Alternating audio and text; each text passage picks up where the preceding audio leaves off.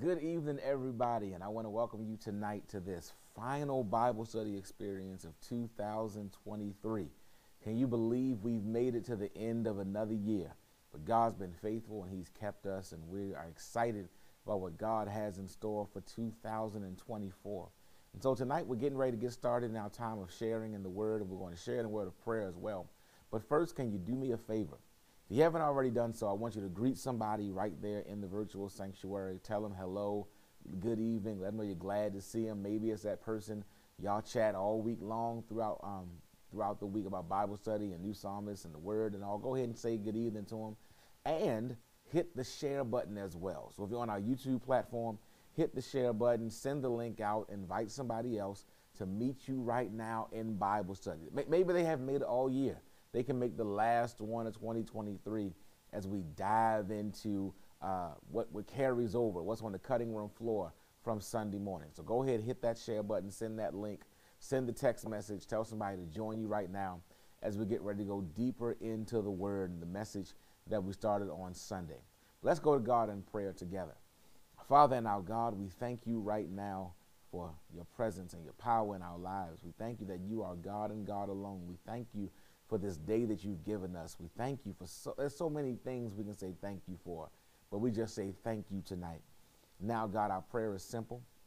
Speak. Let us hear clearly from you. Speak tonight to somebody that their, your word may come alive for them personally, that they may hear something that helps them to grow closer to you, that strengthens and empowers them for your will, purpose, and plan for their lives. In Jesus' name, together we all say, Amen. Again, hit that share button, invite somebody to join you, as well as, and I want to say thank you first, but I want to also invite you to give tonight as well. Whenever we gather as a church, one of the things we do is we thank God through our giving and our generosity.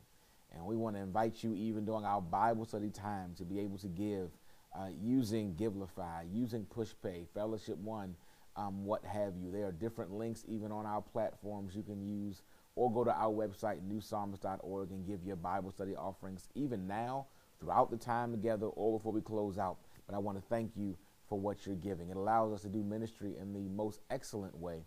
Uh, this past Sunday, we were able to commission um, our new sound system, our new audio system that allows us to enhance our worship experience and even utilize this worship space and this worship facility in ways that things are going to allow us to reimagine how we do some things and open our, our doors to some new opportunities. But I want to thank you, and we want to thank you because you have helped to make this possible. Our, our audio team and our consultants did all of the the designing and the engineering and all the tweaking and what have you, but you helped us to have the resource to make this happen. We even still have persons who are giving towards that effort, and we want to say thank you so much for allowing us to make that possible. And another thing that your, your giving helps us to do is serve and bless others. You've seen in the holiday season how we bless families with meals and Christmas gifts and what have you. We just I just can't say thank you enough for helping to make New Psalmist one of the greatest churches in the world. Because we are a great church, a great family of fellowship, a, a body of Christ, we love to come together. And so Sunday morning we'll be together at 9 o'clock. But we're also going to be doing something special. We're still coming together on Christmas Eve. Yes, Christmas Eve, we have Sunday morning service at 9. But we're also coming together for our normal Christmas Eve service, but in the virtual format. It'll be at 8 o'clock on our YouTube platforms and our virtual platforms. We'll have a special virtual Christmas special. It'll air on Christmas Eve evening at 8 o'clock. It'll also air on Christmas Day. So you want to make sure you're subscribed and have the bell so you get notifications so you'll know what time it's airing on Christmas Day. But on Christmas Day, we're also airing and rebroadcasting our Christmas concert. And I would encourage you and, and even challenge you when you have family and friends who are coming over, or maybe you're going somewhere else for Christmas Day, pull up the New Psalmist YouTube page. Maybe it's when the concert is live. Maybe it's putting up a replay, but share the sounds of the season because ultimately, even though we're getting gifts, toys, and eating good meals, Jesus is the reason for the season. So we'll be sharing in these Christmas experiences virtually. Again, Christmas Eve, 9 a.m. in person, 8 p.m. virtual on all of our platforms, our Christmas special. then Christmas Day, our Christmas special, and our Christmas concert will be airing. You don't want to miss those. You want to share that with somebody that they might be blessed. Then we'll end the year together in worship, the last day of the year, December 31st. This year, it just so happens to also be on a Sunday. So at 9 a.m., I'll be preaching the word, preaching lessons learned in 2023. God has taught me a lot this year. And I know I have at least five or 10 witnesses who can say amen in the virtual sanctuary that God has taught you some things as well. I'll put it to you this way you'll, you'll get kind of a, a, a sneak preview of how I'm going to start the sermon. I began 2023 as Reverend Walter Scott Thomas Jr., pastor of First Baptist Church of Steelton in Harrisburg, Pennsylvania. I'm ending this year as Dr. Walter Scott Thomas Jr., pastor elect of the New Psalmist Baptist Church in Baltimore, Maryland. There are a whole lot of lessons in just those two statements. And some of those I want to share with you in that worship experience. So I hope to see you here at 9 a.m.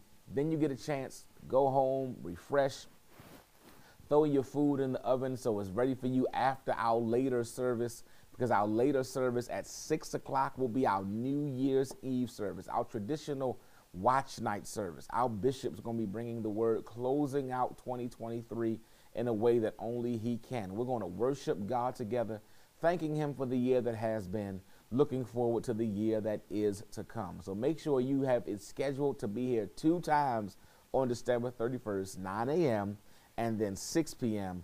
for our end of year service. Maybe you're wondering how you're going to prepare your New Year's meal. That's fine. You can order from our catering ministry. Our food services department is making food available for you to order and purchase. They're going to have the black eyed peas and the collard greens, salmon cakes, and crab cakes. So, so here's the website. I'm going to say it to you twice so you can get it. Um, I, I, we may have it in our chat box as well, or maybe on the screen, but I want to make sure you get this address. The address to order food is watch dash night dash meals dot square dot site. Again, that's watch dash night dash meals dot square dot site. You can put those orders in leading all the way up to Christmas Eve, the 24th, and then pickup is going to be on the 31st, right after 9 o'clock morning service. You'll pick up your food, you can take it home. You can put it on low and slow while you're doing worship, or put it in after worship in case you don't want to have any issues at home. But you'll have the food already prepared so you can go ahead and enjoy that New Year's Eve, New Year's Day celebration with family and friends. God is doing so much at New Psalmist, allowing us to do great things. Even more is in store for 2024. And so I want to go ahead and get into our lesson and our message tonight um, because I started this, rather continued our sermon series on this past Sunday. Each week of Advent has a different theme. Each, each candle of the Advent wreath, maybe you've seen it before, it's the green wreath that has four candles around it. First candle, again, is the candle of hope. The second candle is of peace. The third is of joy. And we're on the third Sunday of Advent, Joy Sunday. And so I shared from the thematic, the sermonic theme rather, I still have joy, borrowing that title from that Dorothy Norwood song that many of us have heard sung many a time before. Coming from the prophetic word of Isaiah chapter 8, and the larger portion, rather chapter 8 and the chapter 9, the larger portion of chapter 8, starting at verse 19 down to chapter 9, verse 7. But for tonight, in the sake of time, I just want to read verse 6, which is really that portion that we lift up in the Christmas season as the prophecy that speaks of Jesus who is to come. It says in verse 6 For unto us a child is born, to us a son is given, and the government will be on his shoulders, and he will be called Wonderful Counselor, Mighty God, Everlasting Father, Prince of Peace. I started, I had a chance to start the message on Sunday and didn't get to finish all of it. And so I wanted tonight share a little bit more of what I was planning um, to share on Sunday morning um, to really give us a full view of what this text is saying when we think about joy and the situations that we often find ourselves in that are not really joyful the moments and periods of life where joy is the last thing on our mind, cracking a smile is the furthest thing we would think about. Because in the particular text that we're looking at, this prophecy from Isaiah, he's speaking to a people who are in times that are not joyful. He's speaking to a people who are about to go through an experience where the last thing on their mind is is joy, peace, hope.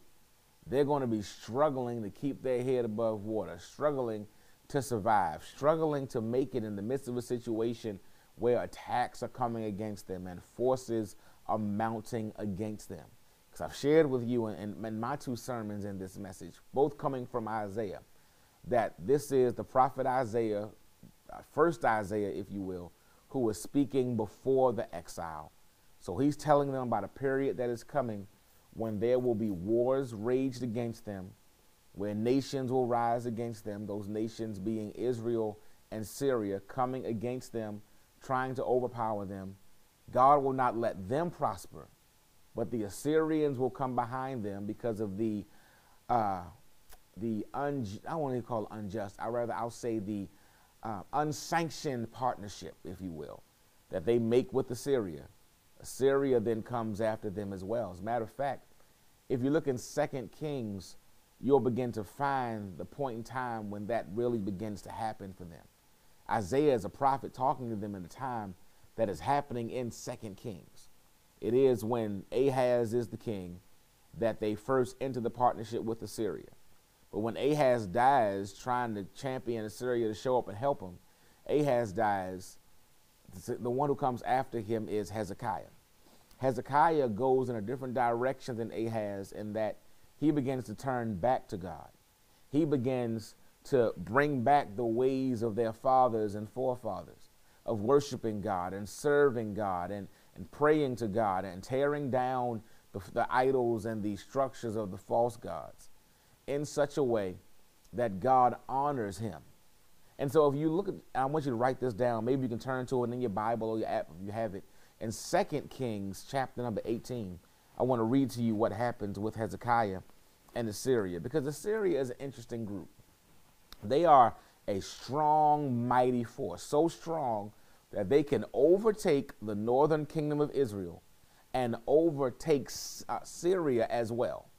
They defeat both of them, and then they turn their attention to Judah. So they are strong, they are powerful, but they're also smart in that their warfare is not always physical battles, but one of their strategies was also psychological warfare, in that they would try to find ways to win battles without having to raise a fist. They, they would try to find a way to talk a nation into surrender. And that's what they try to do with Judah.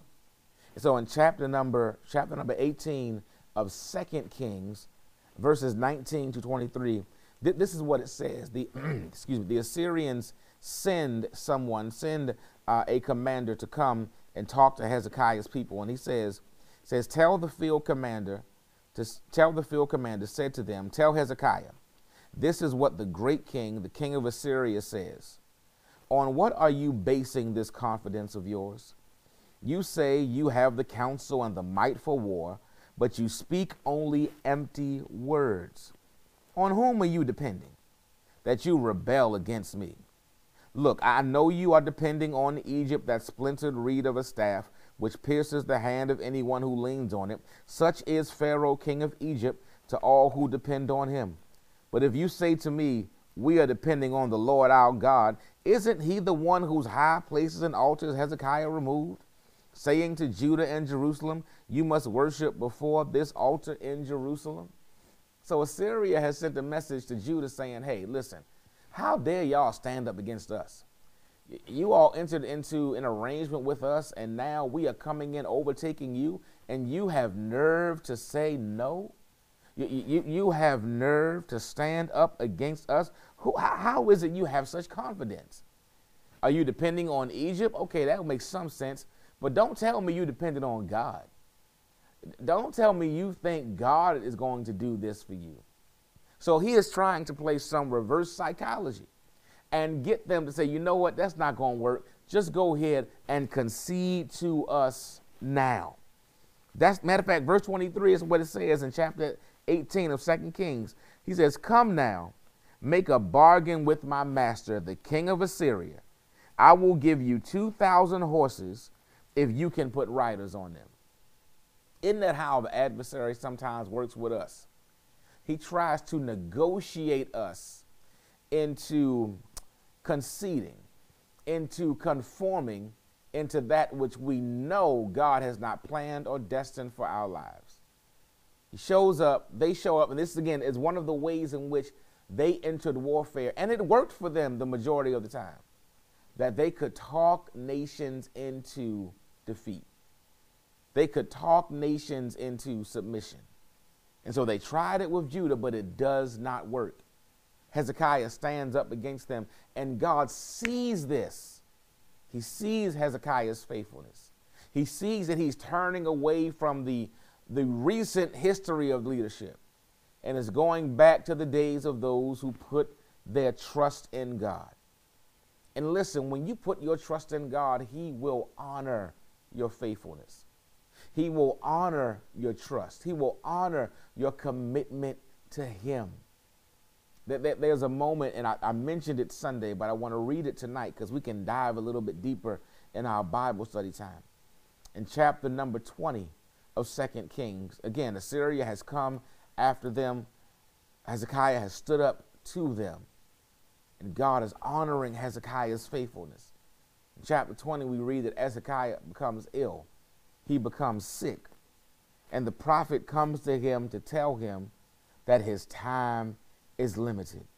Matter of fact, this is what it says, chapter 20. I'm going to read it to you from the book so you know I'm not making it up. In those days, Hezekiah became ill and was at the point of death. The prophet Isaiah, again, this is Isaiah whose book we're reading. I know it comes later in the Old Testament, but this is the time period in which Isaiah is living. So the prophecies that he's speaking are to the people who we find in Second Kings, at least the first part of Isaiah, which goes up, I believe, to chapter 44. That is first Isaiah. Second Isaiah begins to speak in a time period that is after the Babylonian exile. So Isaiah says to him, Son of Amos, he went to him and said, This is what the Lord says Put your house in order because you're going to die.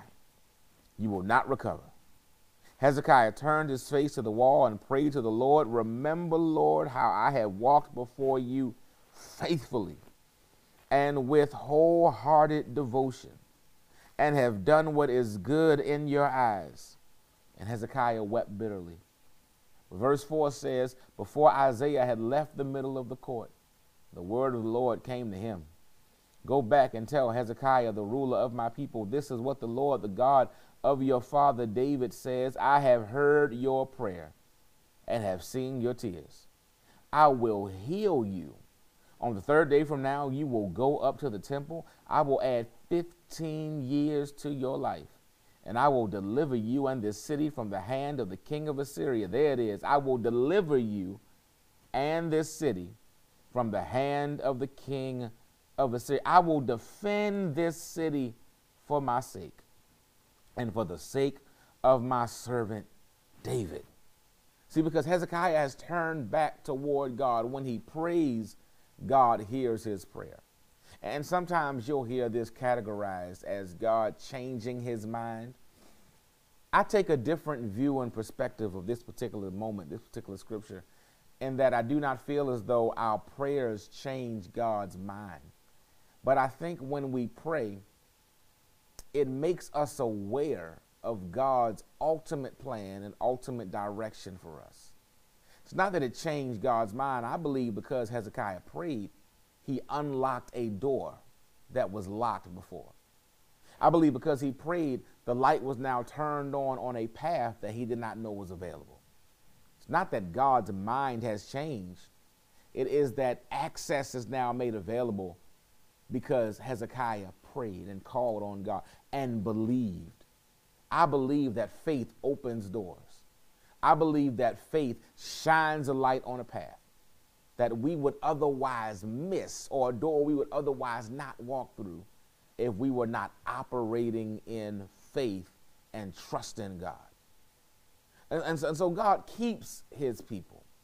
He keeps his people from Assyria. But again, it doesn't end with Assyria. Because after Assyria, Babylon's coming and Babylon wears them out And we read of the Babylonian ex- exile and them being taken to other lands. In spite of all of that, that verse still remains that I read on Sunday.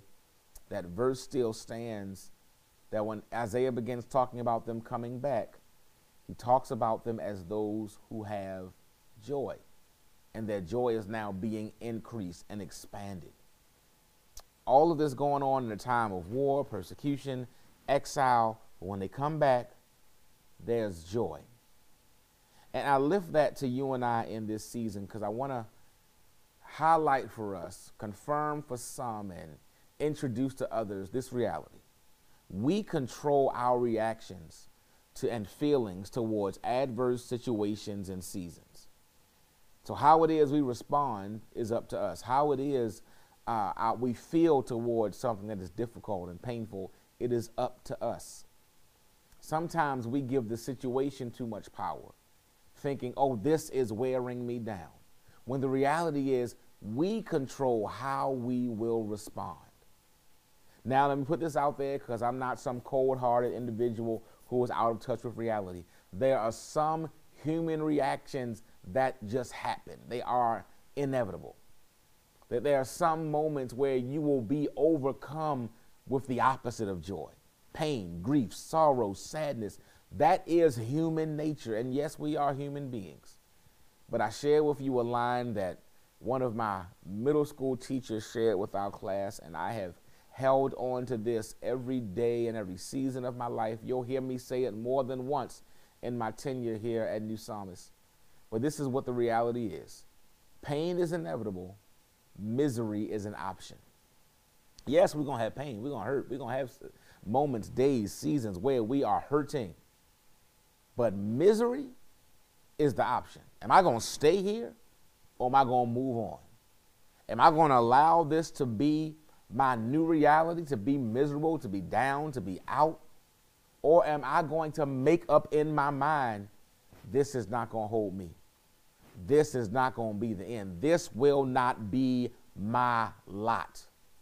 And so, how is it I can have joy in these difficult moments? I choose it.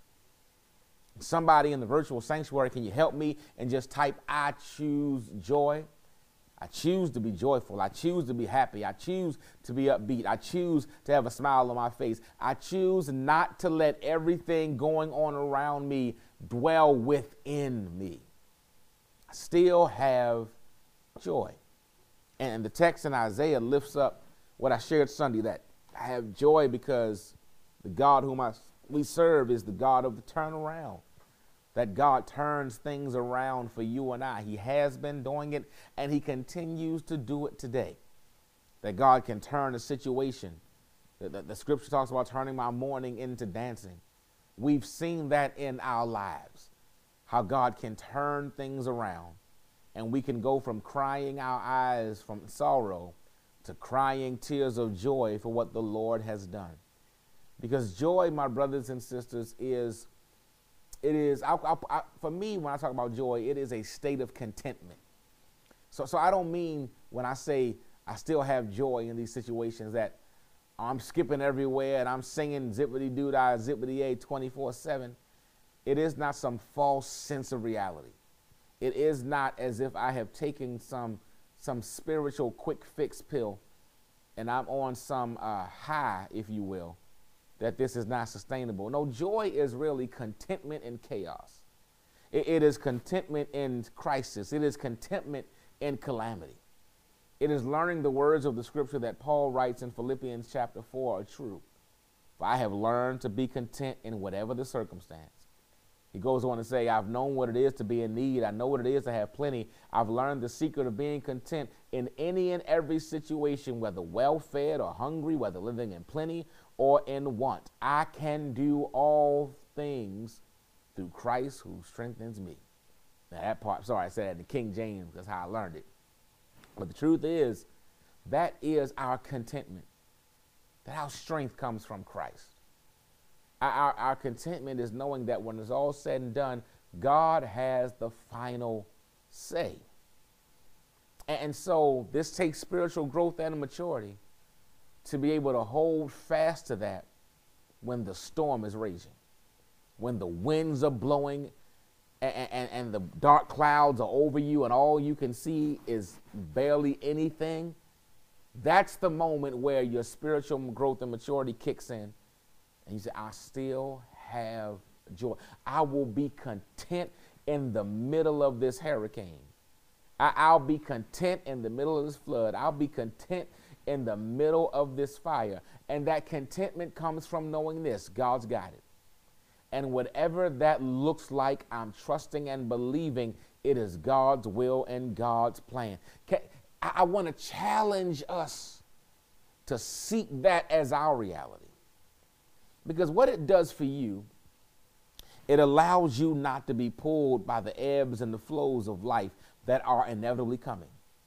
But what it also does for others is it gives them a glimpse of the God whom you serve. And I want to challenge you and suggest to you that the way in which you handle crisis and circumstance and calamity can be the very tool that leads somebody else to Jesus Christ and that helps them to grow deeper in their spiritual journey and their spiritual walk with God. And so I talk about having joy because we serve the God of the turnaround.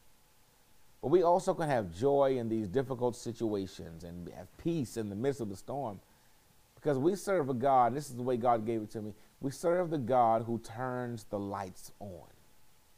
Turns the lights on for us. In verse number two, and I'm back in Isaiah now, in verse number two of the text from Sunday, in chapter 9, verse number 2, Isaiah writes this prophetic word The people walking in darkness have seen a great light.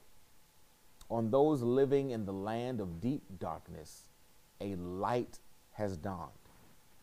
Now, when the prophet Isaiah speaks these prophecies, and this is the case with, with quite a few of the prophets we find in the Old Testament, or whenever a prophetic word is given, it, it is spoken in, and here it is written in what is known as the prophetic perfect, in that the prophet is speaking as if, Isaiah is speaking as if what he's talking about has already happened, even though it has not yet come to pass.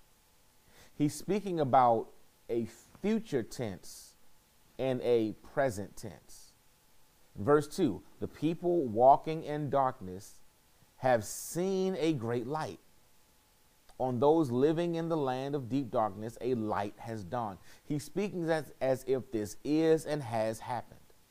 This is what some scholars call, again, the prophetic perfect. He's, what he's talking about is going to happen in the future. He's speaking about it as if it is going on now and has been taking place. Look, walking in darkness, people walking in darkness, if they're walking in it now, they have seen a great light. He's talking like it's already happened. Those living in the land of the deep, of, of a deep darkness, a light has dawned, as if light has already dawned on them. But he's talking about things that are going to happen not just after the exile, but in the grander scheme of things. He's talking about a moment that we see in the New Testament when Jesus is born. He's speaking of a future time as if it has already come to pass. Because the light comes to the shepherds. The light comes to the shepherds in Luke's gospel and recording of Jesus being born. For the angel shows up and says, Do not be afraid, for see, I'm bringing you good news of great joy for all the people. To you is born this day in the city of David a Savior who is the Messiah, the Lord. That is the ultimate light because Jesus is the light of the world. That is the light that comes into a dark world. But Isaiah writes in such a way that he's talking as if it has already happened. And while that is, again, the prophetic perfect, the reality is whatever God speaks something, it has already happened. Whenever you receive a word from God, an utterance from the Lord, whether God speaks to you directly or uses his vessel to bring a word, it has already happened.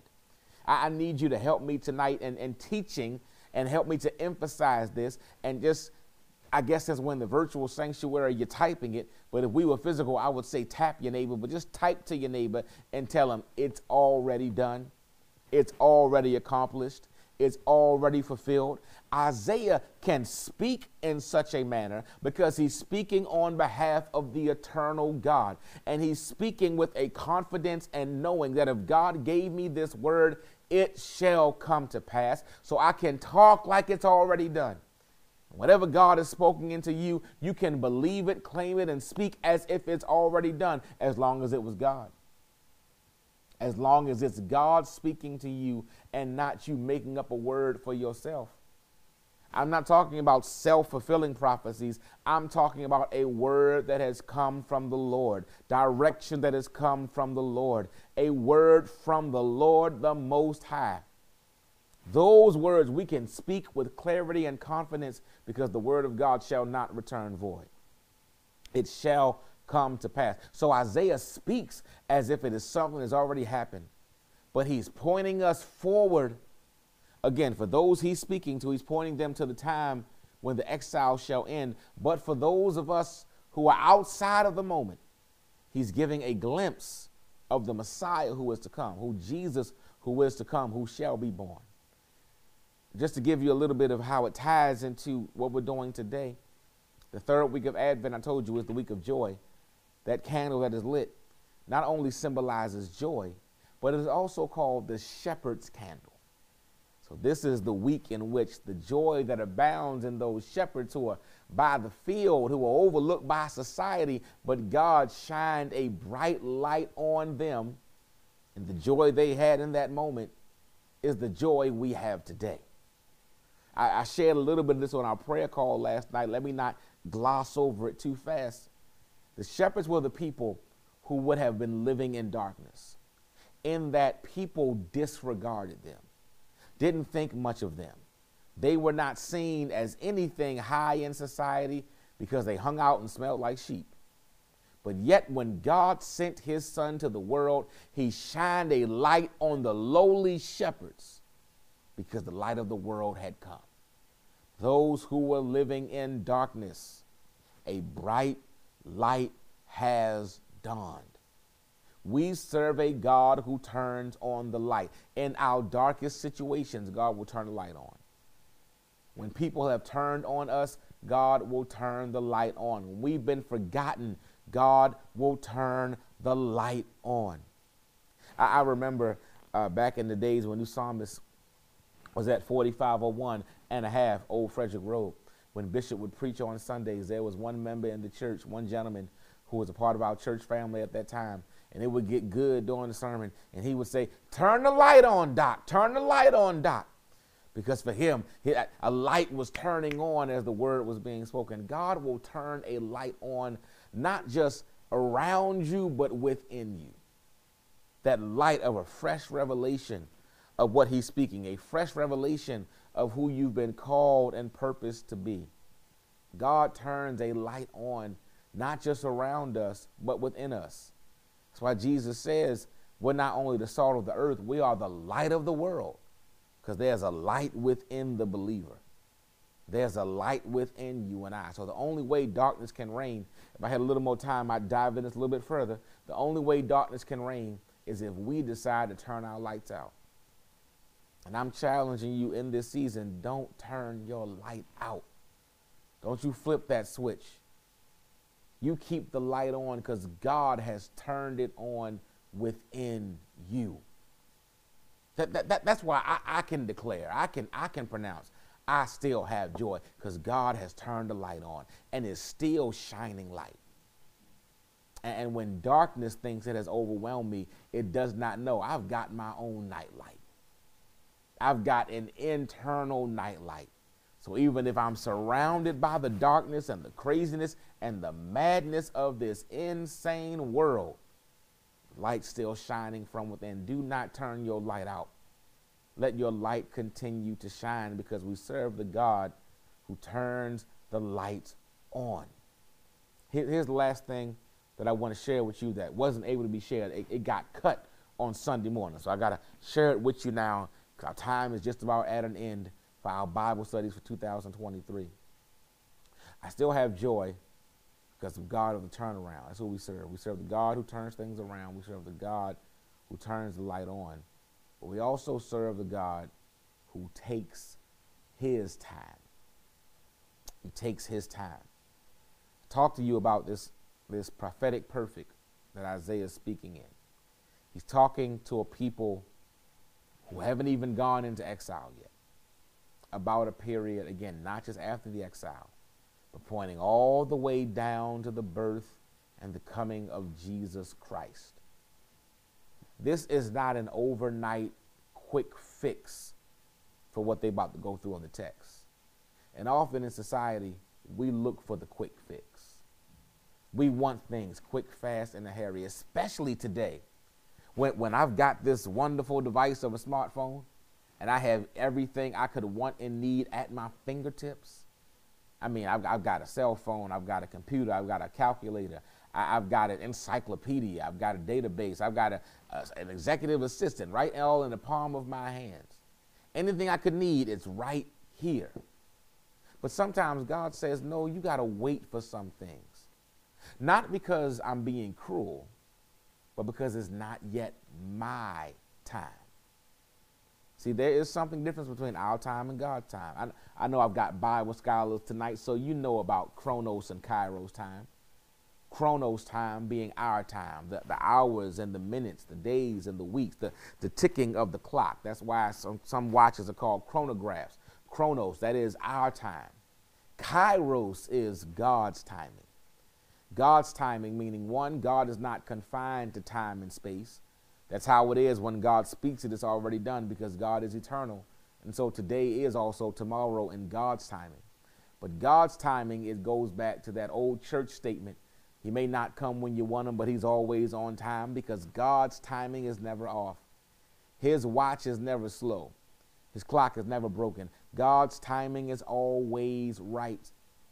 And the reason why you and I can have joy in any situation is because God takes His time. God's time considers all variables. It's most importantly the ones that we are not aware of. So when Isaiah writes, for, To us a child is born, to us a son is given, it's not something that's just going to happen tomorrow.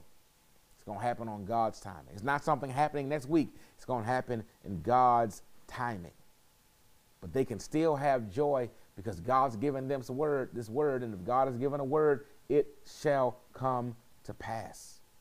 For you and I, we know who Isaiah is speaking of. But in the moment, they are not fully sure, fully aware. And so to hold on to that, again, it goes back to having that faith and that trust in God in the middle of all the craziness, all the hustle and bustle, all the calamity, all of the crisis that they go through. And I want to challenge you and I, my brothers and sisters. We, we may not be in the midst of exile. We may not be having nations warring against us, even though there are wars in the land. But whatever it is that's going on in and around you, hold on to God's hand. Trust and believe His word. Know that He is in control and that He is still in charge and that that light is not going out. He is shining a light and he's taking his time. For unto you, child is born, Savior is given. Again, we know who that speaks of.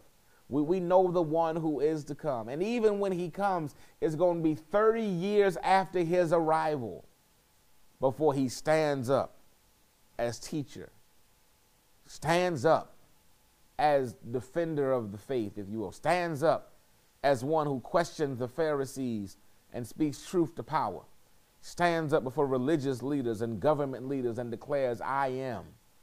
It's going to be 30 years even after he's born for that, and 33 before he makes the sacrifice for you and I. But it takes time. I'm going to close with this. Sunday, I was setting up Reverend Al an illustration to show this next point. I, I told Reverend Al I had some boxes that were going to be delivered because we've been doing this thing throughout this series. And so at different points in the sermon, he was grabbing a box and putting it on the flatbed behind me. You may have seen him a couple of times. If you weren't there, go to the YouTube channel, watch the message. You understand what I'm talking about tonight. So he's getting the boxes ready because there was going to come a point where I would take it and turn it around and you would see what the boxes were all about it was to highlight this. Throughout the message, different boxes were coming, different packages were coming, being delivered at the at the uh, correct address at your door front. They were being delivered, but they were taking their time. It wasn't all coming at once. It was taking time for everything to get there. And it was to highlight this point, and I hope somebody gets this, to highlight the point of this, that sometimes we got to wait on what God is bringing us. We got to be willing to dance through the delays, understanding that it's still coming. The other week, my, my kids and I, we ordered pizza. It said one time on the app, it came about 30 minutes later. I was a little upset, but the pizza was still good, and we still ate. We were still nourished, still got there on time. But here's the greater point, and what I wanted to demonstrate and illustrate, Reverend Al and I with the, eh, with the illustration. It was this something that I've learned this year, and I've learned rather in life, is that it takes time for larger orders to be filled. Sometimes you and I are waiting on God because He's not bringing us just one small little package. He's bringing us something that takes time to fill the order. It takes time to bring all the pieces together. It takes time to get everything in place so that when you receive it, when you receive your delivery, there is no delay in you going forth and using it. There is no delay in it coming to pass. It took time for you to get it, but now that you got it, you can go forth with it as God sees fit. Because what God is sending to you and I, it is of a magnitude, not the quantity, but the quality of it. That you can say this isn't from anybody but God. The reason why I say that with this particular text is that when Isaiah says, For unto us a child is born, a, save, a son is given, he says, And he shall be called Wonderful Counselor, Mighty God, Prince of Peace, Everlasting Father. He says he shall be called Wonderful Counselor. Now, now, this one is kind of a two for one. If you got the King James and New King James, you'll see a comma between Wonderful and Counselor because some editors in their early translations saw this as two different things. Which God is, which Jesus is. He is wonderful, and He's also a counselor. The two do stand on their own as characterizations of who He is. But in the proper understanding of the way in which the Hebrew is written, in that each clause has multiple pieces, it is better understood that he is a wonderful counselor, in that he is a wonder of a counselor, that his wisdom exceeds that even of Solomon, the wisest human being to ever live, that his wise counsel is above compare. He is a wonderful counselor, a mighty God, that He is God, that He is a mighty God, a strong God. And when it uses God here, it uses El, not Elohim. Elohim is sometimes used in the Hebrew speaking of various gods. When it's El, it's speaking of the God of Abraham, Isaac, and Jacob, Yahweh, the one true living God. He's saying this is not just a God, this is God. This isn't something like, no, this speaks of him as a part of the Godhead. For thus who have a Trinitarian understanding, the Son, Jesus, the one who's coming, the Jesus, the Son of God. So it says he's a mighty God, Prince of Peace. He will be royalty, and he shall bring peace. Everlasting Father. So speaking of relationship, but also that he, he shall be eternal forever and evermore. That's a whole lot coming. It's taking some time to get that order together. And so, what God is sending, if you got to wait, it's, it's, it's, it's, not, it's not a penalty. Not you no, no, no, it's not because you messed up. No, it's because it's taking time to get the order prepared, to get the order together. It's a lot coming your way. So I still got joy. And, and I hope in this season, because it can be hard for some. I know this year may have been difficult for some. But I pray that when the clock strikes 12 and we go from 2023 to 2024, that you still have joy. And that 2024 might, as the scripture says, that it might increase your joy. I do pray you gleaned and learned something tonight I, do pray that something was said and shared that made some light come on in you. We're getting ready to go. We're getting ready to leave. We're getting ready to depart. I want to thank you again and invite you again to give even now. You psalmists, again, we've called to do so much. We've doing it and we've been doing it well. And we'll continue to do it because God has sent those who are faithful in their stewardship and their generosity. So even now you can give on Givelify. Look for new psalmists in Baltimore. Pushpay, you, you know you can give there. Fellowship One, you can give there. Or maybe Sunday morning you want to add it to your envelope. Bible study gift, you can give that as well. We thank you for your offerings. We thank you for your gifts. We thank you for how you support the vision and the mission of our church. 2023 doesn't have many days left. It's more behind it than it is before. But as we go forth into this next year, we go forth with joy and inner contentment no matter what's going on. 2024 is going to be a unique year. I don't speak this as a prophetic word. I'm looking at the signs of the times. The Bible said the sons of Issachar had to know the sign, discern the signs of the times. The signs of the times is next year is going to be an interesting and unique time. No matter what we face, though, don't let it take your joy. You still got it. And I close with these good old church words this joy that we have, the world didn't give it, and the world can't take it away. God, we thank you for our time together to share tonight and throughout this year, our time of sharing and growing in your word. God, I pray right now that what you have spoken, let it come alive in your people. Let our joy increase.